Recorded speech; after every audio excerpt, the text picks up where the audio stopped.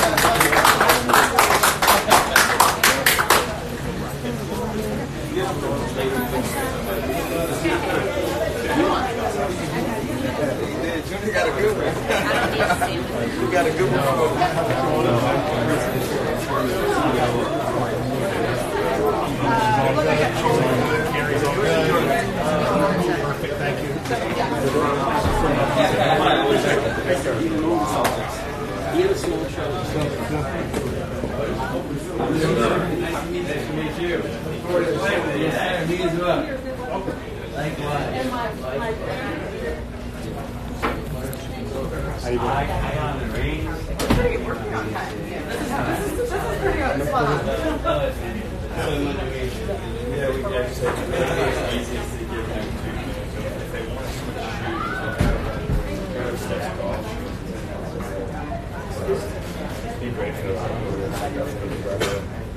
have you been doing this summer? Can we help you out? Thank you very much.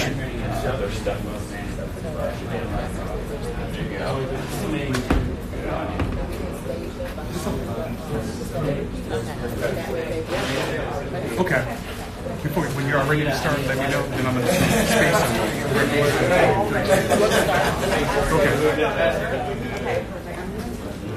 it. Okay.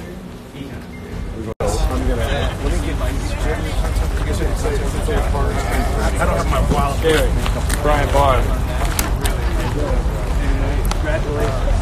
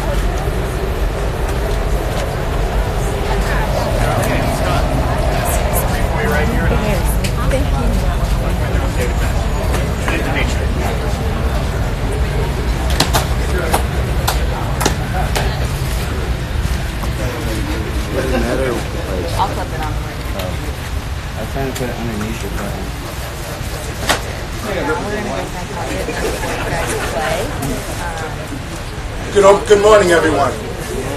Welcome to Langston Golf Course.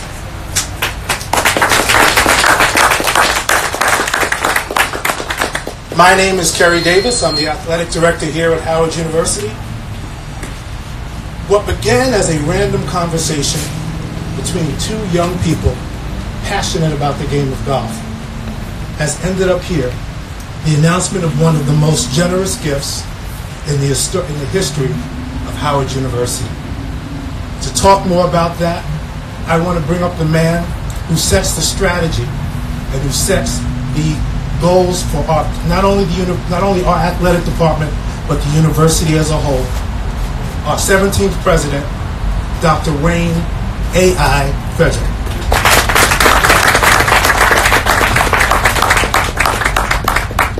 Good morning. Th- Thanks for joining us uh, today. Today is obviously a historic opportunity for not just Howard, but I think uh, all historically black colleges and universities. One of the things that we've been trying to do at Howard is to make the case that Howard University, like many of our HBCUs, have really given this country a significant return on investment. And one of the things that we're asking uh, the country as a whole to do is to reinvest in us. And I think that that reinvestment is going to pay big dividends.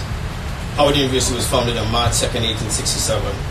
And that act of Congress that started this university was a very ambitious start. This university was founded five years after Freedman's Hospital was put on Howard's campus to basically give freed slaves a place to go get health care. And that emerged into a bigger opportunity for freed slaves to be educated. And not just educated, but educated at the highest level possible. So everything that we've been doing has been focused on that. Howard University has produced more African American physicians than any other institution in this country. And if you look over the past 50 years at all of the black graduates at Harvard's MBA, their number one supplier of those black graduates was Harvard College. Number two was Howard University.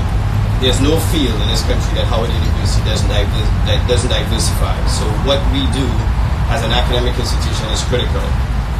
And athletics here at Howard University is extremely important. My freshman year, my first semester, I got to manage a soccer team, and we went all the way to the Division One Final Four. So my introduction to sports at Howard University as well was at, at the highest level. So as you can imagine, in the spring, when March Madness started, I turned on the TV looking for Howard. Unfortunately, they weren't there just yet. But when I hired Kery, I told him clearly that that's where we need to be. So we clearly are making a strong investment. And so today, for instance, my best friend is here, Shaka Hislop, who played on that team, uh, that 1988 team that went to the Division One Final Four and played in the championship game. He graduated from the engineering school, third in his class, interned at NASA, and played 14 years in the English Premiership for teams like Newcastle and Reading. So clearly an elite athlete. Uh, played in MLS for two years and now is an ESPN broadcaster. The, probably the most important accomplishment he has is an executive MBA that I got the chance to sign as president. Although his kids think it was graffiti on his degree, but that's how it goes. So we're here because of this investment that we want to make. So I want to take an opportunity, as much as we're going to talk about golf, I want to take an opportunity to mention a couple of things. We have our, our tennis coach here today, Larry Strickland, and come January 1st, 2020, by the grace of God, he would have coached at Howard University in five different decades. And in every decade would have sent an academic All-American, uh, produced an academic All-American. So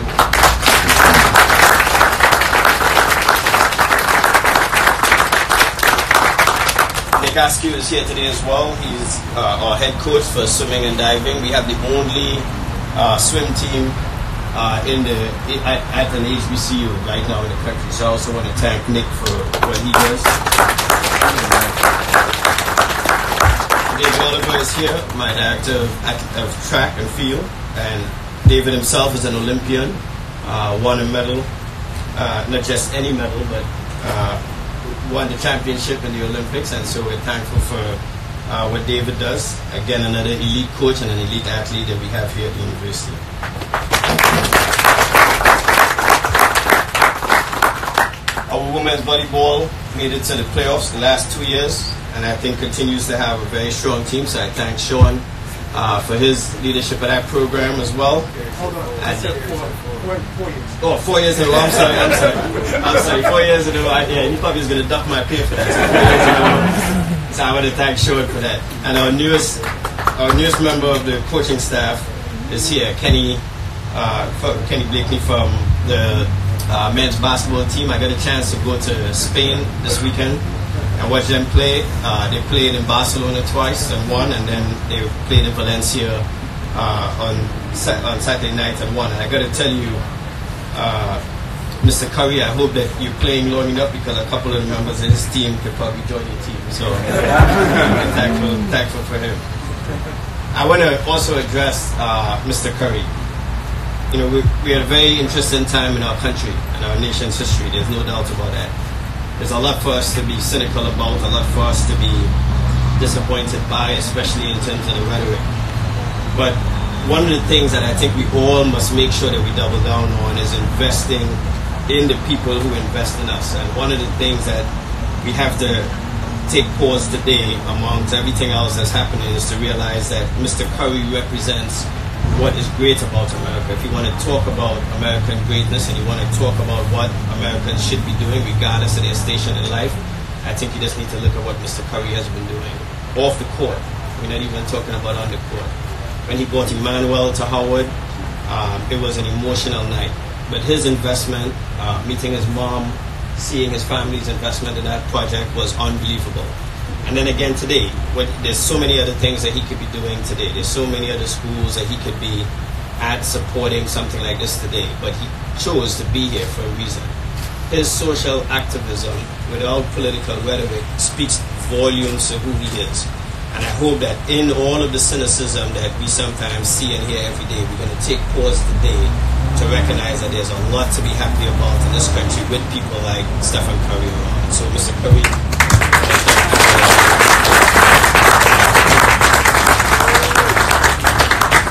let me be clear, this is not just an investment in athletics. Howard's academics in our athletics program is key. The one thing that we are proud of when people ask me about our competitiveness, I make it clear we're competitive on the field, but more, just as importantly, if not more importantly, we're competitive in the classroom. The young men and young women who participate in Howard Athletics are some of the brightest people you will meet. People who are out changing the country, changing the world around us. So this investment is clearly that. This is an avenue for students who otherwise wouldn't have an opportunity to attend a Howard University to use the game of golf to participate in that. And for that, I'm also grateful. I'm also grateful that he recognizes the value of that education. I wouldn't be here and wouldn't be able to support this effort if it wasn't for a few people I want to mention. The chair-elect of my board is here, Larry Morse, and another trustee, John Christian, as well. Both have been very supportive of what we've been trying to do, and I'm appreciative that they're here today. Uh, Marie Johns, uh, who many in DC know, is also on our board. Uh, today's her birthday, so I also want to thank her for uh, her support as well that she's been able to help So I told Steph that my handicap is golf. Nevertheless, I love the I probably play it way too often at a poor level. But I love it because it's the one thing that I get to do with my son that puts me in complete isolation for over four hours. I played, I would say, 80 to 90 percent of the rounds of golf I've played in my life with my son, who just turned 15. He has two days today as he's joining the varsity soccer team at high school, so he's going to come probably on the back nine. He's right-handed, right-hand dominant, but he plays lefty. And when he shows up, I'm going to get a knee injury so that I can make an excuse for why he's now driving me from the same tee box. But more importantly, it has given us an opportunity to share something that we can share well into the later years of my life. And also something that I could share, hopefully, with my grandchildren. And that's the thing about golf that I love. It doesn't matter what age you are, you can play the sport, and it teaches you a lot about life, about self-regulating yourself, about accountability, about responsibility. You don't have to, somebody doesn't have to see you do something for you to call that penalty on yourself. And I think golf gives a lot uh, around the issues of integrity. And so bringing the sport to Howard as well, from a competitive point of view, is great. But another major part of this is going to be bringing the sport to several other Howard University students uh, who can participate in it, play with their families, play with businessmen and women as well, and participate and see where deals are made. And I think that's just as critical. So with that in mind as well, I want to take the opportunity to thank uh, Chip Brewer, who's here with us, the CEO of, of Callaway, for his generous support.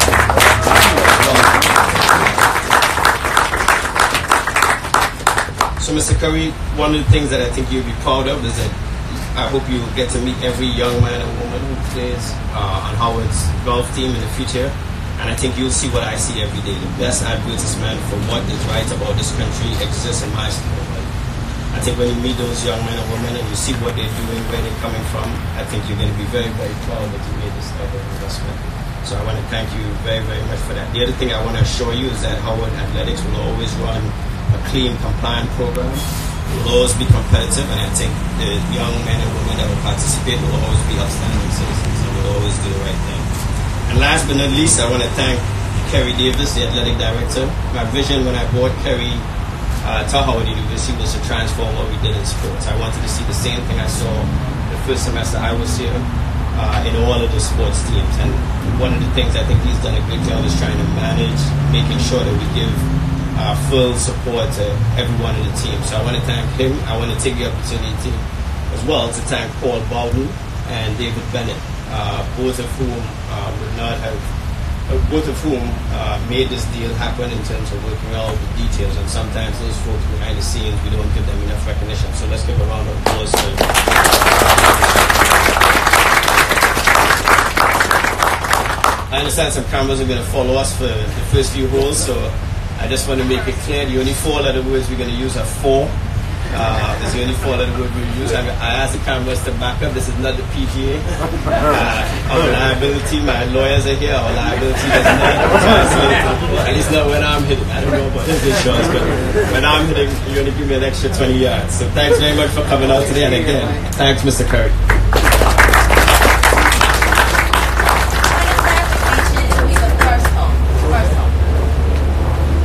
So one thing I've learned uh, when I speak after the president speaks, to keep my brief short because he's such an incredible orator, it's hard to follow. But, but with that in mind, uh, the person I am going to introduce next doesn't need very many words from me. There are very few people in sports who affect the world, who in effect, people talk about changing the game. He changes the world. I, when I was growing up, uh, I think it was Coke or Pepsi, one of them ran, or Nike ran a, ran a commercial, I want to be like Mike.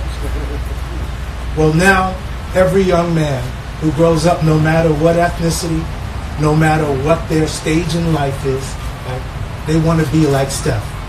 Because he brings that every person quality to not just sports, but to the world. He is a three time NBA champion. He is a two time MVP, the only unanimous MVP in the history of the NBA. He is a six time All Star. But more than that, he's a tech entrepreneur, he's an entertainment executive producer, he is a philanthropist, and he runs a foundation uh, that will reach out to all of us to be as inclusive as we possibly can be. He's going to be growing golf, and not only that, but bringing it to all minority communities, which is one of the great reasons of being here and launching this event at, at Langston to begin with. So, with that in mind, uh, I bring you Mr. Stephen Curry.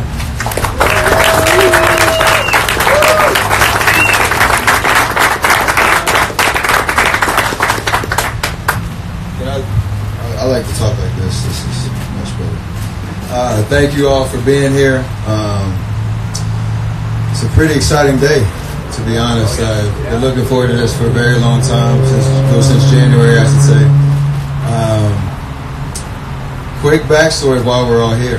Um, Otis Ferguson the fourth is sitting right here uh, in the front row. Otis, stand up for him right quick. Let everybody see him. The, the cameras are back there. you gotta show um, you can stand up while I'm talking about you.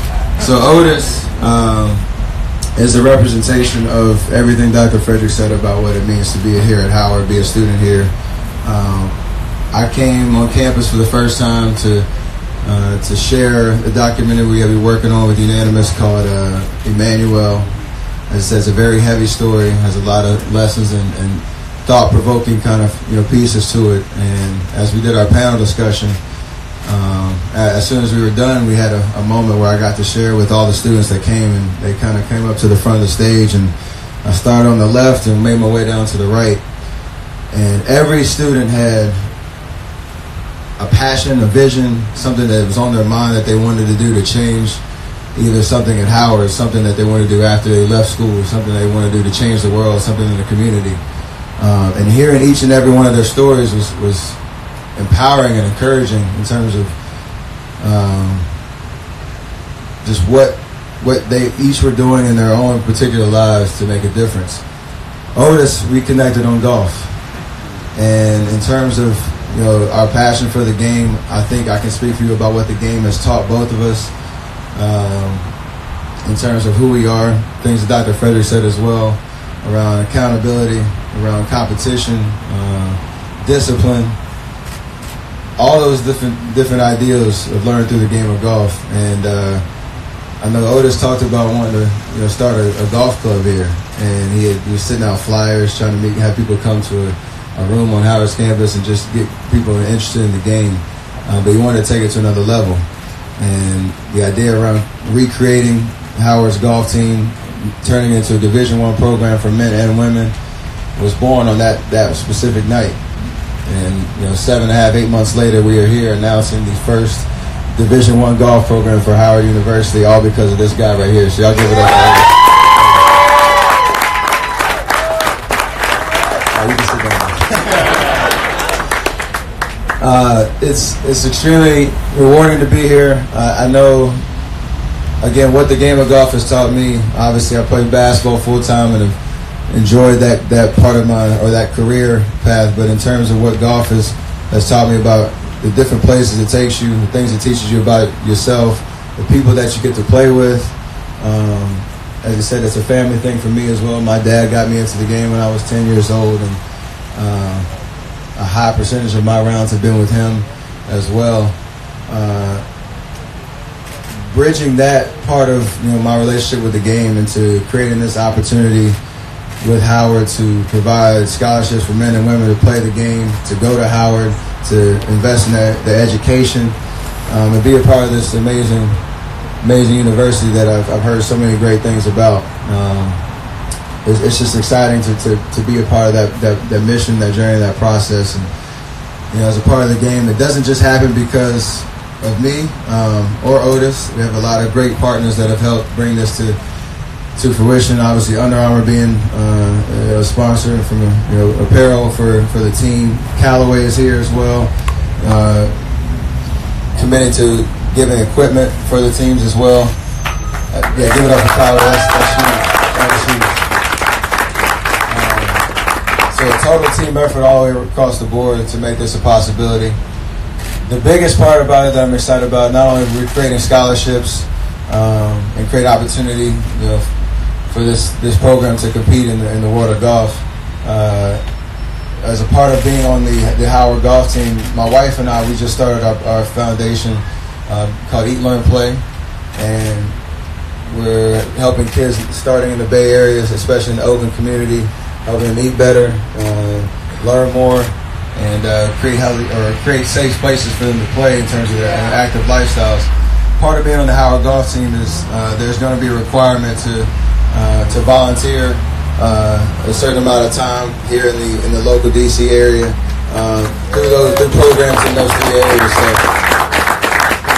it kind of goes full range into developing the total person, obviously from an athletics perspective, from an educational perspective, and from a philanthropic perspective. So I'm extremely happy to bring part of the, you know, what makes me who I am, my family as well, to that program, and uh, just excited. I'm gonna be following every, you know, every part of the journey as we go into next year when we when the team takes the course for the first time.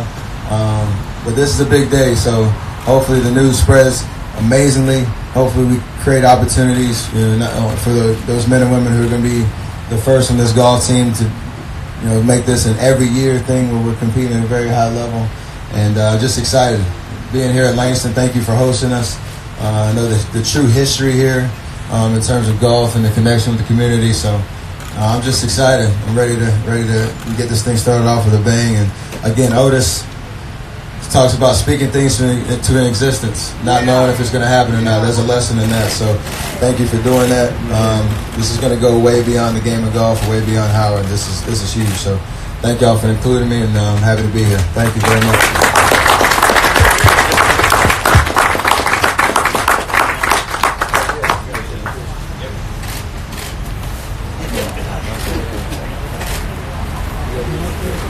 we'll get, we'll get Harry. We are going to um, pause and get official photos in just a second, but we do want to give our professional press an opportunity to ask some questions.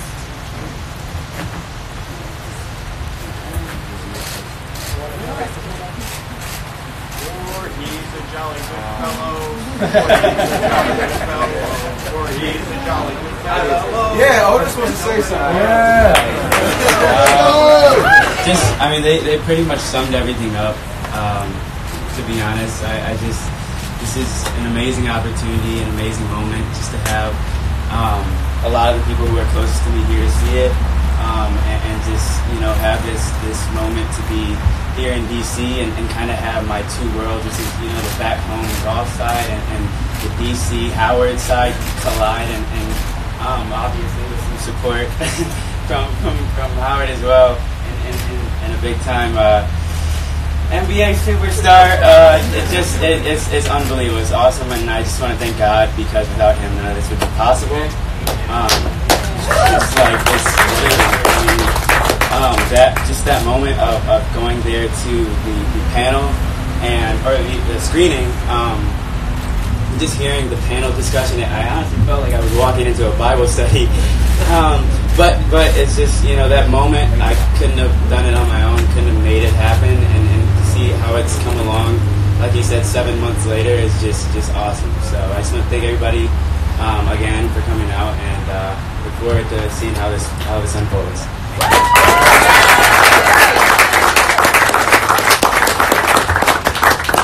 I would be remiss if I didn't include a couple of other thank yous.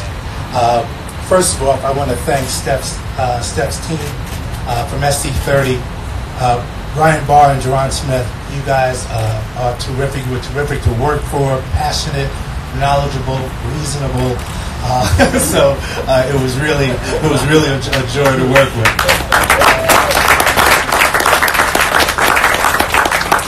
I also want to thank uh, uh, your, your both your PR staff. Janice Lee is representing them here. Uh, she's somewhere around, and also there, there she is. Absolutely, she did a terrific job. Um, and um, and his legal team, Scott McKinney, I believe, is here. And it was, oftentimes lawyers get in the way of these kinds of deals. Scott was was one of again one of those people who worked hard to know that everybody had their hearts in the right place, and let's make this thing happen. So with that in mind, uh, thank you again to my staff. There are too many to name, but you guys all know who you are. Right off getting here and working so hard while I was in Spain. I really appreciate that. Uh, and with that, I'll open it up to questions from Ms. Press. I'm Michael Fletcher from Undefeated. Just a couple of technical points. How many scholarships do you envision creating for the golf team, and how much do you think it's going to cost to endow it going forward after six years? Uh, two good questions. Uh, the first is uh, in the beginning, we're going to start with three scholarships in total uh, two on the women's side and one on the men's side. But there might be in the first year, we're still working through the uh, particulars of this, there might in the first year be two scholarships based on this uh, separate situation that involves Mr. Ferguson. Right? But I can't get into any more details on that. Um, with regard to the endowment, uh, we're going to look, uh, Steph has agreed uh, to work with us in terms of raising the funds for the endowment so that this program can go on in, in, in perpetuity. Uh, that number could be, you know, I'm not going to put a limit on what that number is, but we're looking at somewhere between six to eight million. And full scholarships? Full scholarships, correct. Sam Ford, Channel 7. How much uh, is Mr. Curry putting up for this? How much does this cost? The six, the, the six Well, years of support. I, I don't like to talk about any other anybody else's wallet, but let me just say this: um, he is putting up enough that we will be able to, in the first year, uh, hire a coach and do the necessary, and spend the necessary resources to create, create and develop a team starting in 2021. Uh, he is also putting up enough to pay the operating expenses and the scholarship expenses for that for that team on both the men's and women's side for the next five years after that. How much is that? I'm not going to say how much that is. put it like this: it's, it, it, it's more than a little. yes. WHUR Radio, what's the plan to get more women involved in golf? What's people, what's some So that's that's also also a very good question. One of the things that Steph was very uh, uh, adamant about was having gender equality uh, and gender equity based on the program. So we will have, as, as, a matter of fact, there'll be again one more women's scholarship than there'll be a men's scholarship. The idea uh, for women's competition is uh, they will be an independent team, probably starting out in 2021 with the hope of eventually joining the MEAC conference should the MEAC conference gain enough institutions uh, to host a Division One program. The, the does have a Division One program for men, and the men will immediately be a part of the Division One mix uh, on the MEAC side in, in 2020. Roland Martin. Uh, yeah, a lot of professional athletes play golf, and you hope that this also inspire them uh, to follow your lead. Um, yes, I feel like uh, there's no secret how much golf is a passion of mine, and again, how much I've learned about the game. Kind of playing basketball, obviously full time, and uh, my free time playing golf. But uh, I hope it encourages people in terms of just being authentic about what they want to do and how they can create opportunities to give back. You don't have to force it. Uh, opportunities can come up, but following you know your passions and what you can really get behind, not only you know your time and effort, but your money as well. Um, everybody's doing it in a lot of different ways, and so my way is connecting golf with education with opportunity, and that is uh, that's important for me. One last question in the green. Mark Gray with the Afro American newspaper. Steph, uh, in relation to Chris Broussard's comments last week about uh, you know black players at the high school level going to HBCUs, this is kind of an extension of that. As one who didn't attend the HBCU, how important do you see that scenario in the future? I know Dr. Frederick probably has something to say about that, but I think uh, I didn't. I saw Chris's comments, but this is obviously in the works since January. Um, I know Jeron, who uh, who's a Howard alum, and you know spoke a lot about you know this uh, this university as a whole and what it stands for, what it means. But again, you don't have to go to an HBCU to support it, and so for me, uh, this is an opportunity and something following Otis's lead I wanted to get behind. Um, and the university has done a great job of meeting me halfway on that. So uh, there's a lot to say. The uniqueness and specialness of people that you know that, that come from uh, HBCUs that are doing, like you said, are changing the world um, in, in, their own respective ways, and it's, it's important. You, you want to speak on that too? Just one comment, and that is, I think you know, often when this comes up, we just aren't honest about the issue. The issue is about money uh, you got your, young African American athletes who are going to be attracted to you know places and sports where they can be seen and where they can make it to the other level. And so, as HBCUs, we also have a responsibility to build the infrastructure so that we can convince them, we can give them that opportunity. I think one of the things that I would say though to those young African American athletes as well is we give them probably the best opportunity in life. Uh, while a small percentage of them will make it to the pros, the reality is all of them going to live a, a, life, a productive life outside of the sports arena.